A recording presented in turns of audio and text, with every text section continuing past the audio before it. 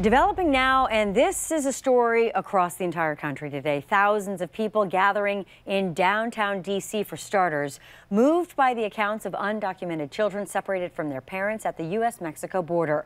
The protesters' primary demand reunite families. Kevin Lewis at the live desk now with the highlights. Kevin, I thought reunification was supposed to be underway. Uh, and the thought is that they have about a month left, Kimberly. Protesters, they picked Lafayette Square today as it sits in the shadow of the White House. However, President Trump and his family are not in Washington. They're spending the weekend at the Trump Family Golf Course in New Jersey.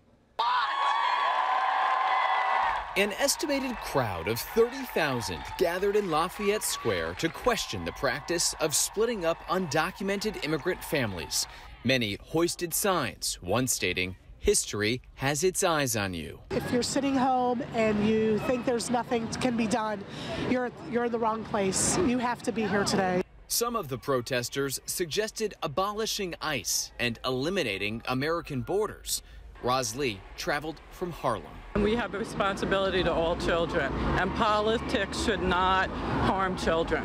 It, I mean, I think it really hits us. These Montgomery County women are both new mothers. Even just coming here, we had we left our babies at home because we didn't feel comfortable bringing them out in the heat, and I, I miss her just being away for a few hours. One uncontrollable variable the sizzling summer heat.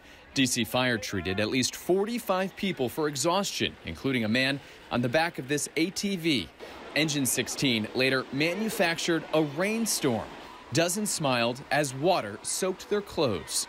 One block away, Harvey Simpkins handed out flyers accusing Democrats of being as careless as Republicans. To the extent that they are trying, that they are, are shedding crocodile tears for these immigrant children now, all of a sudden it's to gain votes. I mean, clearly, it's a it's a it's a ploy, and uh, they don't they're not actually they don't actually stand for immigrant rights. Around 700 similar protests took place across the country today, and while DC's included celebrities like Lin-Manuel Miranda and Alicia Keys, it drew around 30,000 fewer demonstrators than expected. At the live desk, I'm Kevin Lewis. Kimberly, back to you.